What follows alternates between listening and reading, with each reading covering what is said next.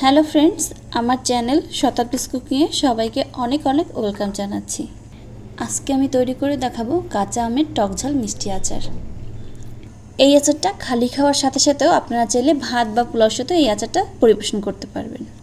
এবং সেই সাথে আজকে আমি তৈরি করে দেখাবো কীভাবে রৌদ্র দেওয়ার ঝামেলা ছাড়াই এই আচারটা তৈরি করবেন। অনেকের বাসায় আজকাল রৌদ্র পাওয়া যায় না, তো তারা কি রৌদ্রের অভাবে আচার করা বন্ধ করে দেবে? কখনোই না। তো চলুন দেখে নিন এই আচারটা আপনি কীভাবে রৌদ্র দেওয়ার ঝামেলা ছাড়াই তৈরি করবেন? রেসিপিটি শুরু করার আগে আপনি যদি এখনও আমার চ্যানেলটি সাবস্ক্রাইব করে না থাকেন, তাহলে প্লিজ এখনই আমার চ্যানেলটি সাবস্ক্রাইব করে ফেলুন। এবং সেই সাথে পাশে থাকা বেলাইকনটি ক্লিক করুন, যাতে আমি যখনই কোনো ভিডিও আপলোড করব, সাথে সাথে আপনার কাছে নোটিফিকেশন চলে যায়। এবং আপনারা যারা অলরেডি আমার চ্যানেলটি সাবস্ক্রাইব করে ফেলেছেন, তাদের জানাই আমার আন্তরিক অভিনন্দন।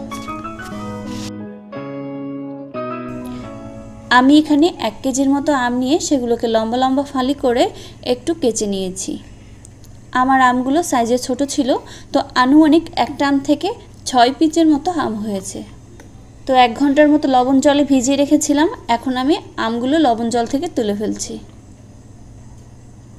এবারে আমি একটা বড় বোল নিয়ে তার উপর একটা কিচেন টাওয়াল বিছিয়ে দেব। আপনারা চাইলে কিচেন টিস্যু ব্যবহার করতে পারবেন। এখন আমি এর ভিতর আমগুলো দিয়ে দিচ্ছি। আর এভাবে করে একটু হাত দিয়ে প্রেস করব যাতে এক্সট্রা জলটা এই টাওয়ালটায় শুষে নেয়। জাস্ট আমগুলোকে আমি একটু ভালো করে মুছে নিচ্ছি। এবারে আমটা একটু মেরিনেট করে নেব। প্রথমেই আধা চামচ লবণ, আধা চামচ হলুদের গুঁড়া এবং আধা চামচ মরিচের গুঁড়া দিয়ে দিলাম। এবারে এভাবে করে একটু ঝাঁকিয়ে আমটা মেখে নিচ্ছি। আপনারা চাইলে হাত দিয়ে ওটা মাখাতে পারেন।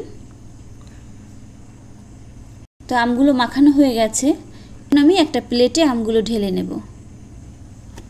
আচারের প্রধান শত্রু হচ্ছে জল। সেই জলটা যদি শুকিয়ে না যায়, তখন আর সেই আচার কখনো নষ্ট হয় না। যেহেতু আজকে আমি আচারটা রোদ্রে দেব না, তাই এই অবস্থায় ফ্যানের নিচে আমি দুই তিন ঘণ্টার জন্য রেখে দেব। তাতে যতটুকু পানি আছে, সেগুলো শুকিয়ে যায়। এখন আমি আচারটা তৈরি করব। এর জন্য একটা পাত্র চুলায় বসিয়ে তাতে এক কাপ পরিমাণ সর্ষের তেল দিয়ে দিয়েছি। তেলটাকে খুব বেশি গরম করব না। দিয়ে দিচ্ছি তিনটে তেজপাতা। এবং সেই সাথে প্রায় পাঁচ ছয়টির মতো আস্ত মরিচ। এখন দিয়ে দিচ্ছি এক টেবিল চামচ রসুন বাটা। এক টেবিল চামচ আদা বাটা। এবারে এই মশলাগুলো মিডিয়াম টু লো আছে একটু ভেজে নেব।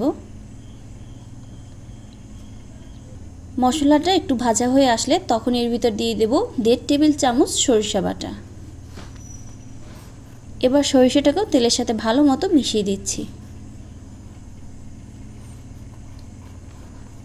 যখন মশলার কালারটা একটু চেঞ্জ হবে, তখন আমি এর ভিতর দিয়ে দেব মেরিনেট করে রাখা আমগুলো।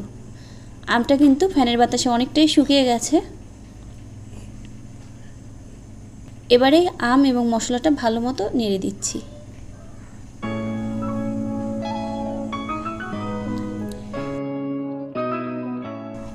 এখন আমি দিয়ে দিচ্ছি এক টেবিল চামচ পাঁচফোড়নের গুঁড়া।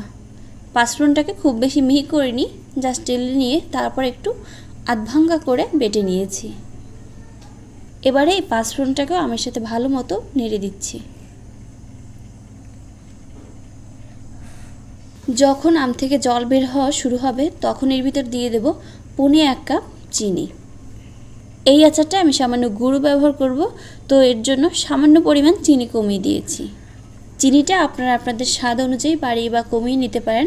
কিন্তু আমি টক মিষ্টি ঝাল সমানভাবে রাখব, তাই চিনির পরিমাণটা আমি সামান্য একটু কমিয়ে দিয়েছি।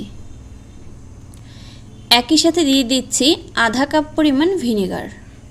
এবার সব কিছু ভালো মতো নেড়ে দেব এবং চুলার আঁচ মিডিয়াম রাখব। এই পর্যায়ে দিয়ে দেব আধা চামচ লবণ। আমরা ম্যারিনেট করার সময় লবণ দিয়েছিলাম, তো সেটা মাথায় রেখে এই লবণটা দিতে হবে।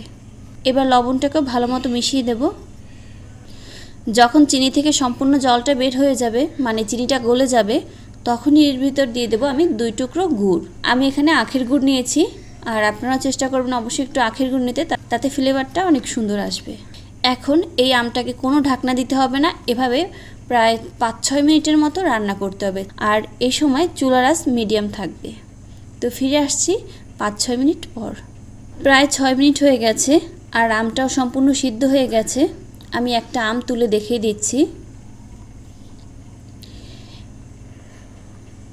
এই যে, আমটা সম্পূর্ণ সিদ্ধ হয়ে গেছে, একদম ট্রান্সপারেন্ট হয়ে গেছে সিদ্ধ হয়ে।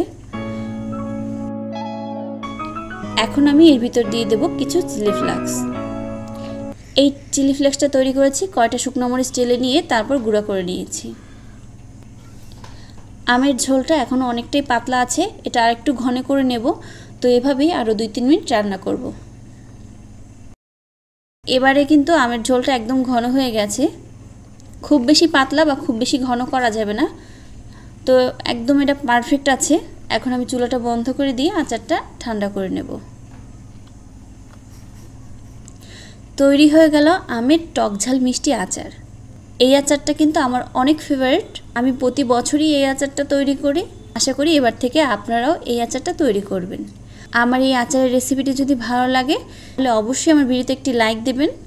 আমার চ্যানেলে আরও অনেক ধরনের আমের আচার আছে। চাইলে সেগুলোও দেখে নিতে পারেন। লিঙ্ক ডিসক্রিপশন বক্সে দেওয়া আছে। সেই সাথে এই ভিডিওগুলো আপনার ফ্রেন্ডস অ্যান্ড ফ্যামিলির সাথে শেয়ার করতে পারেন। আজকে পর্যন্ত সবাই খুব ভালো থাকবেন। আর নতুন রেসিপি দেখার আমন্ত্রণ রইল। সবাই খুব ভালো থাকবেন। বাই